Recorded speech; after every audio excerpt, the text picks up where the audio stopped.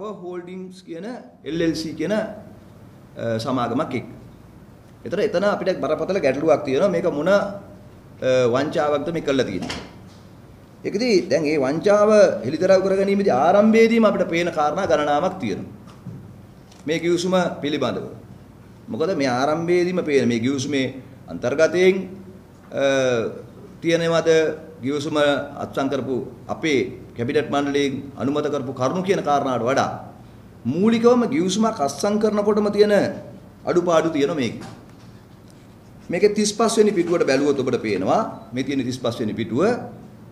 මේ 35 වෙනි පිටුවේ මේ ගිවිසුම අත්සන් කරන්නේ ශ්‍රී ලංකා රජය වෙනුවෙන් සුජිත් රුචිර රුචික ආටිගල්. මේ කියන්නේ අපි දන්න මුදල් අමාත්‍යාංශ ලේකම් ආටිගල මහත්තයා.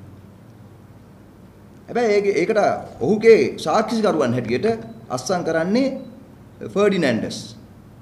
Adviser ministry of finance. මුදල් අමාත්‍යාංශයේ උපදේශකයෙක් හැටියට. මේ ෆර්ඩිනැන්ඩස් කියන්නේ කලින් විදුලි බල අමාත්‍යාංශයේ හිටපු අමාත්‍යාංශ ලේකම්වරයා. ඔහු මෑතකදී අපිට මාධ්‍යවලදී හමු වෙන්නේ ආයෙත් ඇවිල්ලා තියෙන්නේ විදුලි බල මණ්ඩලයේ සභාපතිවරයා හැටියට.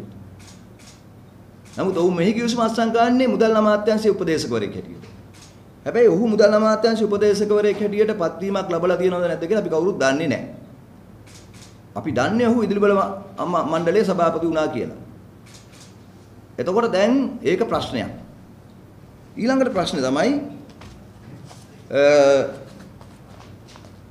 ඩැනියල් ක්‍රිස්ටෝපර් නයිට් කියන පුද්ගලයා තමයි NFE Sri Lanka power holdings කියන මේ කිවිසුමට සම්බන්ධ අනිත් පාර්ශවයට අත්සන් කළා තියෙන්නේ. එයාගේ සාක්ෂිකරුව හැටියට අත්සන් කරන්නේ මේ ඇඩ්වයිසර් මිනිස්ට්‍රි ඔෆ් ෆිනෑන්ස්.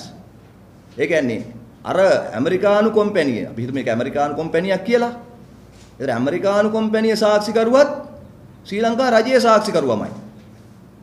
ශ්‍රී ලංකා රජය වෙනුවෙන් ආටිකල මහත්ය අත්සන් කරනකොට ඇමරිකාවේ කොම්පැනිය වෙනුවෙනුත් සාක්ෂිකරුවම ශ්‍රී ලංකා රජයේ සාක්ෂිකරුවා.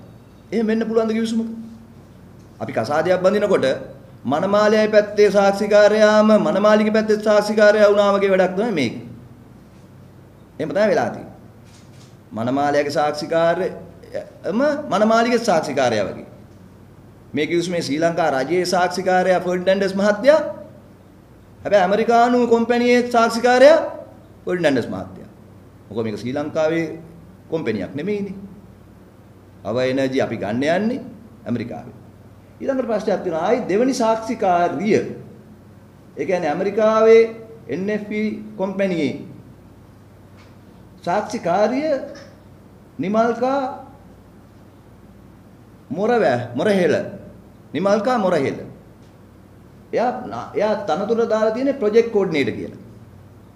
අපි මේ නිමල්කා මොරහෙල ගැනත් හොයලා බැලුවා. එයා කලින් වැඩ කරලා තියෙන ටුවරිස්ට් බෝඩ් එකේ. ඒ ටුවරිස්ට් බෝඩ් එකේ ප්‍රොජෙක්ට් වල එයා ඉඳලා තියෙනවා. හැබැයි එයා මේ පවර් ඇන්ඩ් එනර්ජි ටුවරිස්ට් මේ ප්‍රොජෙක්ට් වල ඉඳලා කියලා අපි දන්නේ නැහැ.